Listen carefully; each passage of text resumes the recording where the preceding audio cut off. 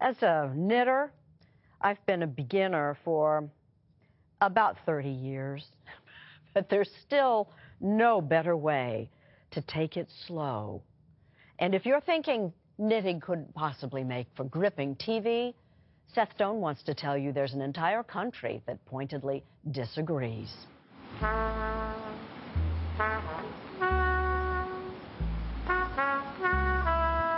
It's television's version of taking a deep breath. A very long, very slow deep breath. So, ein. It's called Slow TV, and it's a surprising smash hit in Norway. It began with this broadcast of a train journey from the coastal city of Bergen to the capital, Oslo. The formula was simple put a few cameras on a train and watch the scenery go by for seven hours. Did you know where that journey would lead, how successful it would be? No, not at all. Rune Møklebust and Thomas Hellum are the brains behind the whole thing. We met at the Bergen train station. It's normally one of those ideas you get late night after a couple of beers uh, in the bar, and when you wake up the other day, um, uh, it's not a good idea after all. Og gjør deg klar for en helt vanlig togtur, men et helt uvanlig fjernsynsprogram. But much to their surprise, there was a green light from their bosses at Norway's public broadcaster NRK2. Actually, we, we like it being a bit strange, a bit uh, crazy, because then it's, um, then it's more fun. and if the viewers laugh or think that, oh, wow, this is too crazy, that's basically the kind of reaction you, you really want from the viewers. About a quarter of all Norwegians tuned in to watch some part of that train trip. They ran historical clips when the train went through a tunnel, but other than some music, there was no narration, no plot, and thanks to public broadcasting, no commercials. Yes, of course it's boring. You admit your own show is boring? yes, it's uh, much of much of life itself. It's it's boring, but in between there there are some excitement moments, and you just have to wait for them. Yeah, yeah. Since the train in 2009, they've experimented with other slow ideas. Oi, ja, det var litt uh, tøft bare. And folks at all levels have taken notice. I understand that in Norway, for example, one of the big hits on TV is Na- National Firewood Night. This is true. Video of logs burning for hours. 12 hours in all. Then there was a national knitting night, which started, of course, with shearing the sheep. Knitting the sweater came much later in the 13 hour broadcast. The shows get slower and slower. And It has to be uh, unique, uh, not a copy of the last one. So we, we, have, to, we have to push the boundaries uh, for each show, I think. The show titled Salmon Swimming Upstream ran 18 hours, and afterward, the head of the station said it felt too short. Is there a recipe for the perfect slow TV? It's important that it's an unbroken timeline, that you don't take away anything. That's everything it's in there. It's all the boring stuff is in there, all the exciting things it's in there. So, so you as a viewer has to find out what's boring and what's interesting. It kind of requires you to, uh, to precisely to slow down, to kind of twist your head in a little bit of a different direction. Are you a fan of slow TV? I am. Espen Ytreberg is a professor of media studies at the University of Oslo.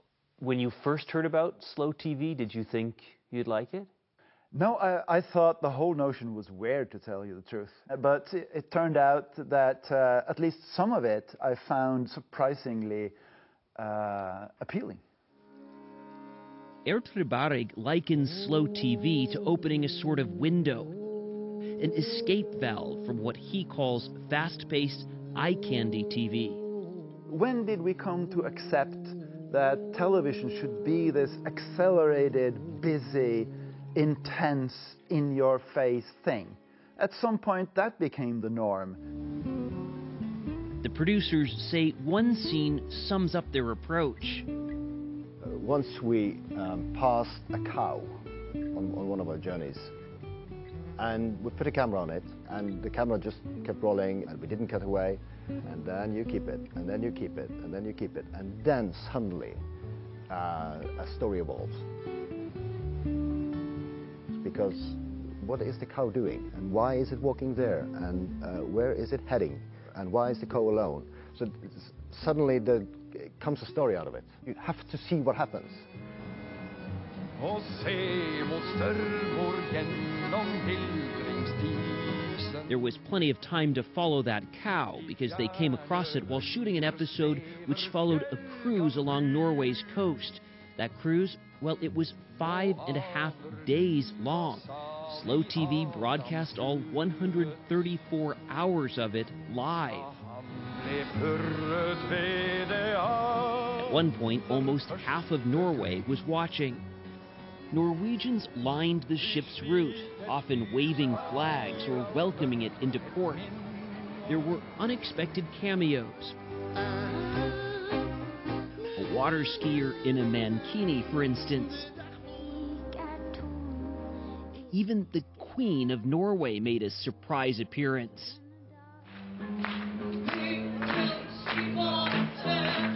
And the trip revealed some unexpected talent.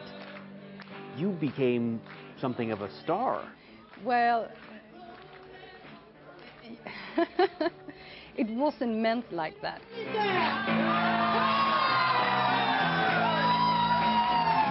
Anna Bilstein Hogberg, the ship's purser, remembered how one night seemed a little quiet. I just felt that we need to rock and roll a little bit. So for you me, picked up the mic? Yeah. Slow TV has been syndicated around the world, and since then, she gets recognized.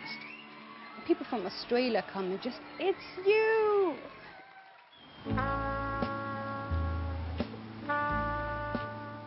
Slow TV episodes are special events. They're not on all the time. The creators want them to stand apart from regular programming. All of this got us to thinking. I wanted to show you something, and get your thoughts on this. We have something on Sunday morning called The Moment of Nature. It's at the end of every broadcast, and I thought you guys might like to see it. We leave you this Sunday morning among the bighorn sheep of Jackson Hole, Wyoming. And how many seconds do you dare to keep it? Watch. Yes. Definitely. I get the feeling, yes. Slow TV Yeah. in the making. Compared to other things, yes, it's definitely. And I guess you get a lot of good reactions on this one. The audience loves I guess The it's Moment of popular. Nature. Yeah, yeah. And they always want it to be longer. Yeah. Exactly. So make it longer. Make it That means this piece has to be shorter, Yeah. so watch it. stop this. Stop this piece now.